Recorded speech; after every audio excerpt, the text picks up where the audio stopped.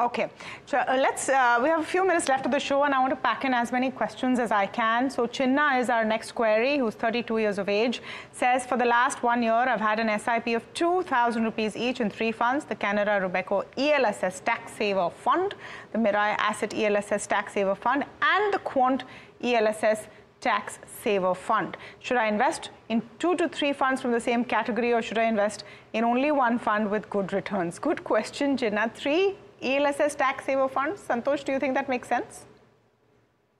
Well, it is a bit much. One could have solved the problem, but I think I, I can see where Chinna is going. He's going with diversifying within the ELSS category, because whether you do one fund, two fund, or three fund, the, the objective of the tax saving category is to save taxes and optimize on return. But here, I think he's done a bit of a smart thing by going in two, three uh, selection. Now, also what I see interesting over here is these are very divergent styles from Canara Robeco to Mirae to Quant.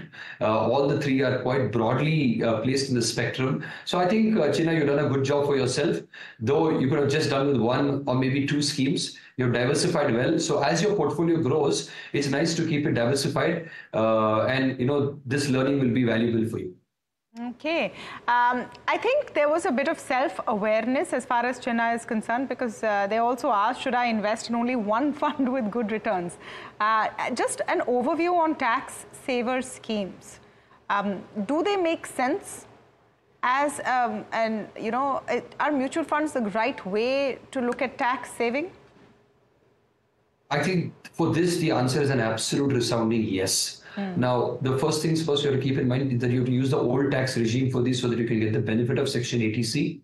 There are very simple uh, points that uh, help us uh, figure out why this is the best. Number one, uh, this has got the lowest amount of lock-in, which is only three years. You can do an SIP over here. You can diversify like how Chinna is done into multiple schemes because if you think the styles are different. And number four, when you compare all the available tax saving scheme on a 5, 10, 15, 20 year basis, Again, a resounding answer that ELSS schemes have just outperformed every other avenue left.